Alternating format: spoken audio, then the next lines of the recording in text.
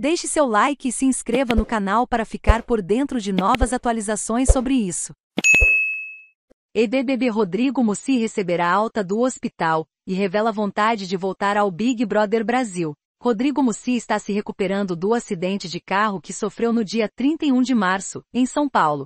O EBBB deve receber alta em breve e passará para reabilitação intensiva para continuar a recuperação nesta semana. O irmão do empresário, Diogo Mussi, disse a quem que falta pouco para o irmão deixar o hospital. Nesta semana ele será transferido para reabilitação intensiva para fazer fisioterapia, fono, neuro e tudo mais que ele tem direito. Falta pouco para ele sair mesmo do hospital e conhecer meu filho, contou a quem. Segundo Diogo, o irmão ainda não recuperou a memória completamente após receber alta da UTI. O importante agora é ele ficar 100%, recobrar a memória. A pancada foi muito forte, e é normal ter esse déficit de memória que ele apresenta. Ele é um milagre, chegou em estado muito gravíssimo no hospital, reanimado duas vezes e em menos de um mês, já vai ser transferido para a reabilitação, afirmou. O irmão de Rodrigo também revelou que o EBBB tem vontade de voltar ao Big Brother Brasil mais uma vez.